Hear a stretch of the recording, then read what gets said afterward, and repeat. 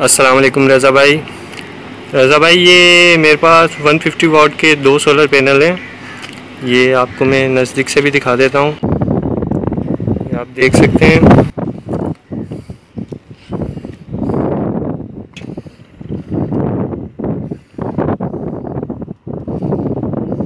ये जो इसका है, ये शीशे के अंदर है। ऊपर से स्टिकर नहीं है ये इनका। ये तकरीबन मेरे को यूज़ करते हुए डेढ़ साल हो गया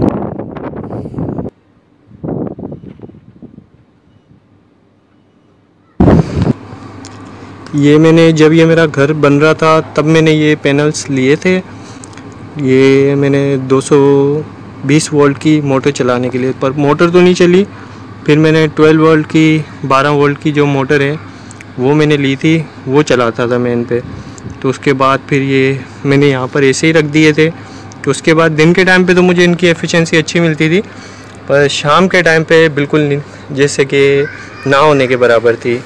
तो फिर ये मैं स्टैंड लेके आया तो मैंने इन्हें इस तरह का, इस तरीके से मैंने इन्हें लगाया और जिस तरह से आपने कहा था कि इनकी जो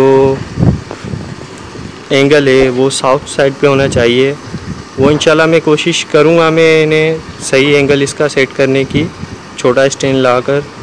ये काफ़ी बड़ा स्टैंड भी है, इस पर 300 वॉट के दो सोलर पैनल लगते हैं और 150 वॉट के तीन पैनल्स लग जाते हैं।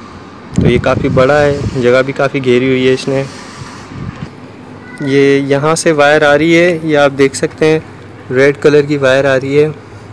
ये यहाँ से ऐसे आकर यहाँ से एसी वायर एसी वायर के साथ ही डीसी वायर यहाँ से नीचे जा रही है। यहाँ से रजा भाई, ये मेरी वायर डीसी वायर नीचे आ रही है। ये जो रेड कलर की है, ये मेरा छोटा सा सिस्टम है। और ये मैंने एक मल्टीमीटर लगाया हुआ है। ये एसी के साथ। ये अभी मैक्सिमम कितने एम्पेयर ले रहा है और कितने वाट इसने ज़्यादा से ज़्यादा लिए। और अभी कितने वाट मैक्सिमम ले रहा है ये। और कितनी बिजली कंज्यूम कर चुका है और कितनी देर से ये चल रहा है। कि तीन मिनट हुए ऐसे मुझे लगा है। और वोल्टेज कितने आ रहे हैं पीछे से? 240 इकतालीस वोल्ट आ रहे हैं। ये सिंगल वायर की फिटिंग हुई हुई है यूपीएस की। जैसे कि देसी यूपीएस के लिए जो होती थी पहले, वही हुई हुई है। ये मैंने इन्वर्टर लिया था। अभी ये मैंने चार्ज कंट्रोलर लगाया। ये किसके साथ मैंने छोटा सा वोल्ट मीटर लगाया हुआ है, जो 8 वोल्ट से लेके 30 वोल्ट तक काम करता है। ये बैटरी का मैंने लगाया हुआ है। और 180 पी एस की बैटरी है 21 प्लेट की। है और ये चार्ज कंट्रोलर है, P M P P T. और इस वक्त जो है मैंने इलेक्ट्रिसिटी जो वापडा से आ रही थी, वो मैंने बंद कर दी है। अभी ये जो भी मेरा लोड चल रहा है ये सारा इस इन्वर्टर के एसी लोड जो है वो इस इन्वर्टर के थ्रू चल रहा है। ये आप देख सकते हैं दो सौ उनतीस दो सौ तीस वोल्ट ये बना रहा है। उसके बाद अभी मैंने M P P T solar charge controller मैंने लगाया है।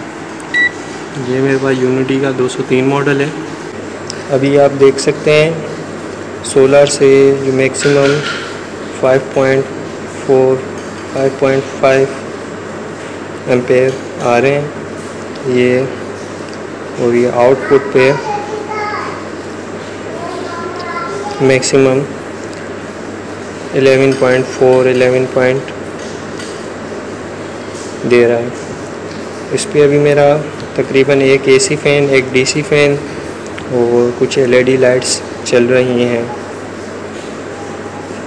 पर इस चार्ज कंट्रोलर को जब मैं लेके आया था तो उन्होंने मुझे 12 वोल्ट पे चेक कराया था ये मुझे।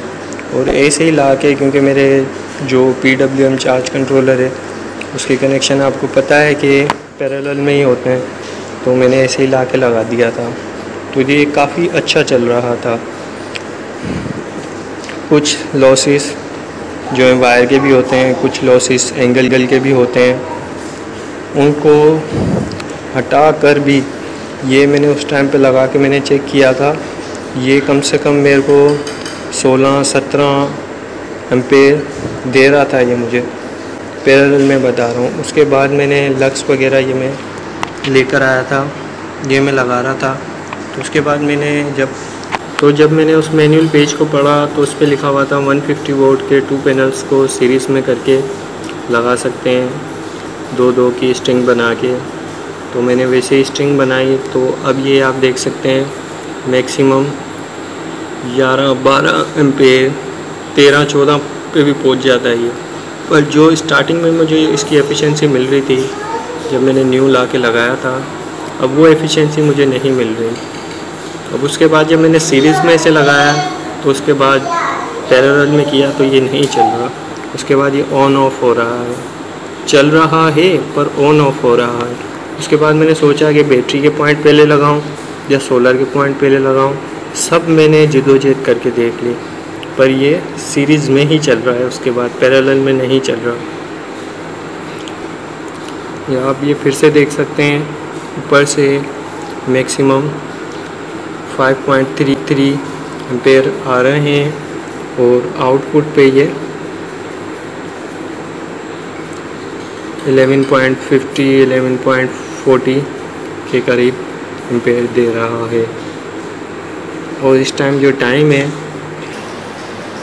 तकरीबन ट्वेल्व बज के थर्टी फाइव मिनट हो चुके हैं। आप देख सकते हैं। हमारे यहाँ कभी कभार ऐसा भी होता है कि जो लाइट है, वो 24-24 घंटे भी नहीं होती। तो ये साइड एरिया है बिल्कुल।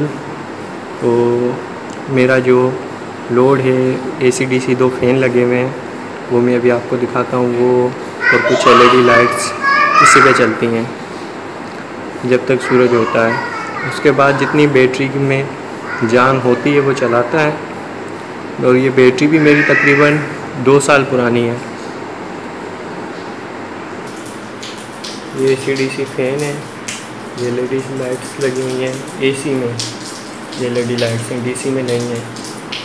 और ये सी डी सी फ़ैन है। एक इसका रूम में, एक बराबर वाले रूम में। दो फ़ैन हैं। ये मेरे पास डीसी ब्रेकर भी अवेलेबल हैं। मैंने सोचा था कि मैं 300 वॉट्स की सोलर पैनल्स और परचेज़ करके इसके साथ 24 वोल्ट का सिस्टम बनाऊँ।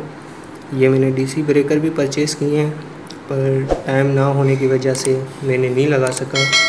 और ये टम्परेचर मीटर है, ये वोल्ट मीटर है, ये एम्पेयर मीटर है और ये यूनिटी का 200 तीन मॉडल है ये मेरे पास।